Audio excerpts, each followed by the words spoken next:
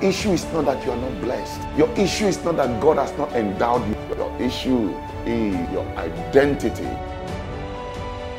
Because we gravitate always in the direction of our dominant thought.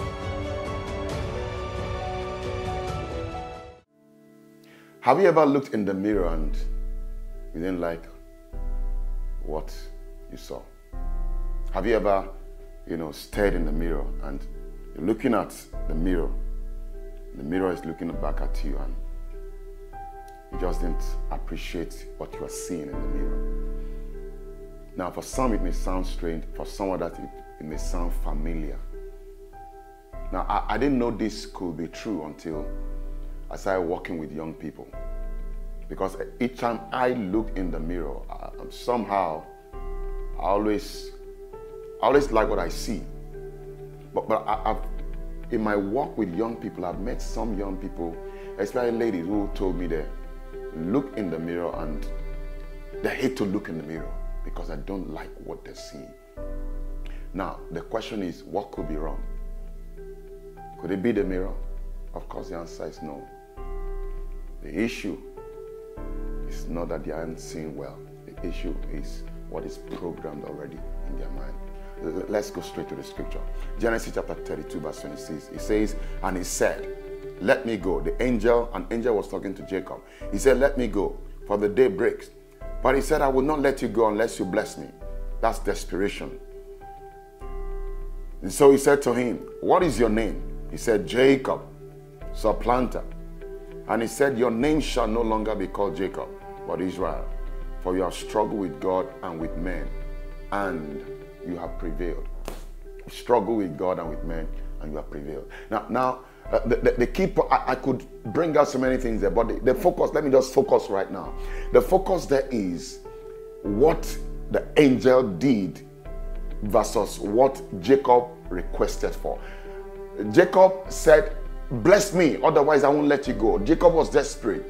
He, has been through struggles. He struggled the whole of his life. I, I don't know if you've been there before where you feel like, you know what? I've had enough. I, I've had it. I'm tired. I'm just tired of struggling. I'm tired of I'm tired of this challenge. I'm tired of jumping from one relationship to another. I think, you know, when I enter this relationship, I think that, okay, finally God has answered my prayer. Uh, it's going to work this time around. And in six months or one year, we have an issue and he moves on or she moves on.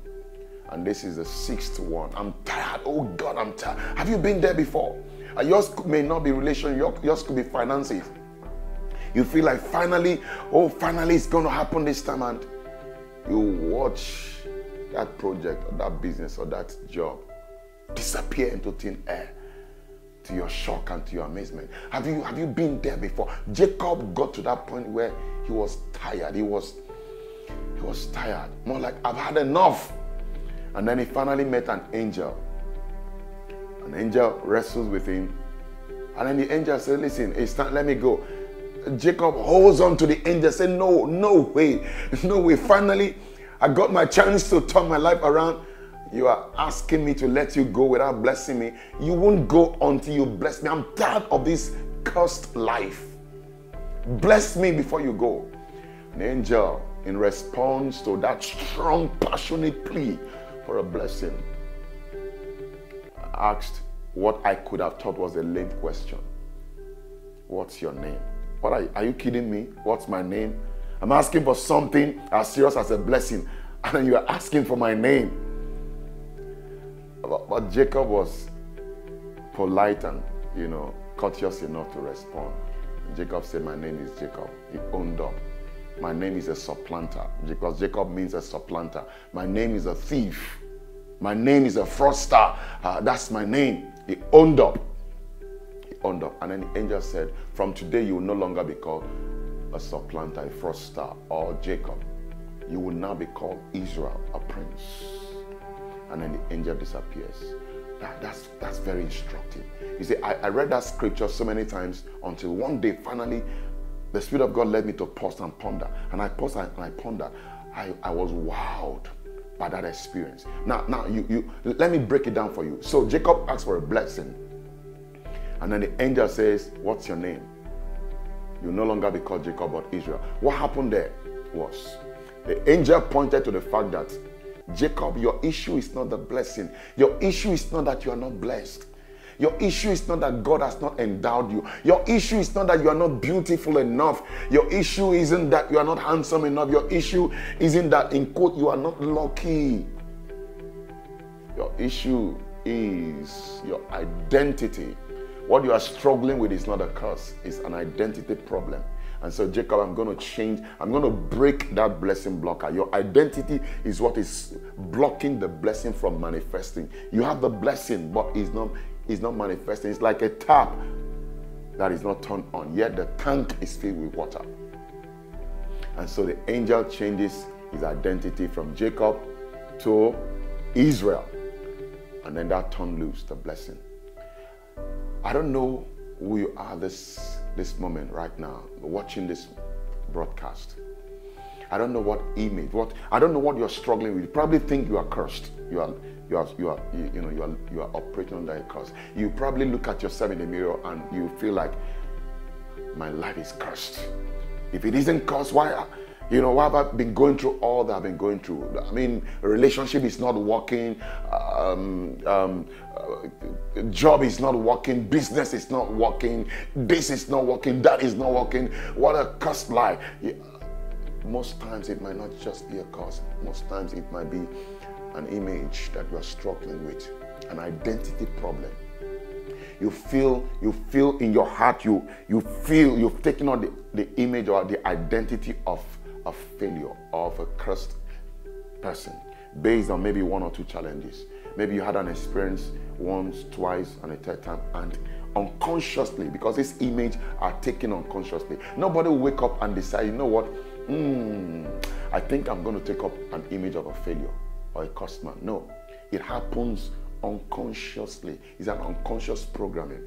And once it becomes a program state or condition, you repeat the cycle you repeat the cycle, whether it's in relationship or whatever, you repeat the cycle. I've seen people who gravitate from one abusive relationship to another repeatedly, repeatedly until they had an encounter, this kind of encounter, and they were able to identify the root of the problem. You see, you cannot you can't you can't you can't rise above what you believe to be true of yourself.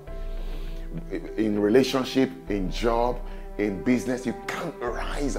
Each time each, each time you want to rise maybe you you hear a powerful message or motivational whatever that stirs you up and you want to rise above. You finally decide you know what? I'm going to break this limit you may take one or two steps but that image will bring you back to that level the first step is alter that image change what you believe to be true of yourself now let me tell you something you were made and designed by God in His image. That already makes you a winner. By design, you were designed to be a winner. You are designed to dominate. You are designed to rule. You are designed to reign. Now, does that mean that you know life won't throw you challenges? Life will throw you challenges. But you see, challenges makes you stronger. Challenges are not designed to make you give up on yourself and take on a self-defeating image. And if you have, you can begin to alter it from today. And all you need to do is to look yourself in the mirror and tell yourself, you know what, I'm a blessed man, I'm a blessed woman. Only the best is good enough for me. I'm a child of God. I walk in victory. I'm a new creation. Oh, I'm special. My life is blossoming, regardless of the contradiction. You've got to be willing to look foolish while saying all these things because your circumstances will tell you how can you be saying what is not true but the reality is that you have to say it before you can see it manifest you have to say it now as you are saying it two things are happening it is affecting your image your subconscious image and you are also engaged in the process of creation because words create reality so, you, so, so two things are happening at the same time. So you, you have to be disciplined to the process of speaking what you want to see in your life. Okay, I'm going to stop here right now. Feel free to comment. I'll respond to all the comments. You know, uh, feel free to share your experience um, um, what impacted you the most in this message? What line struck you the most in this message? And then if you have anything personal to share with me, go straight to my DM and I will respond as swiftly as possible. My name is Lawrence Onochie, your partner in progress. Have a wonderful week. Bye for now.